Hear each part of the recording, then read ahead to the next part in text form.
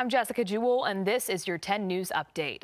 One person is in the hospital after multiple shooting scenes in Radford. Officers responded to the first shooting report early Sunday morning on Madison Street. Soon after, police say there was a second shooting on Sanford Street and the Copper Beech apartment complex, where officers found a person shot.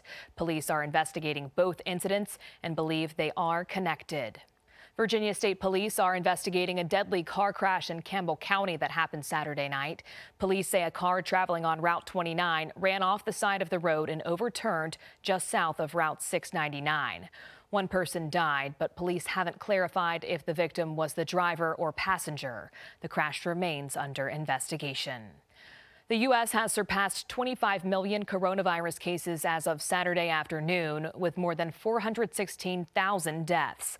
Hundreds of hospitals are running out of space and supplies. The Associated Press says an analysis of federal hospital data shows two in five Americans now live in areas running out of hospital bed space. A reminder you can get updates on the go with WSLS.com and the 10 News app. I'm Jessica Jewell, 10 News working for you.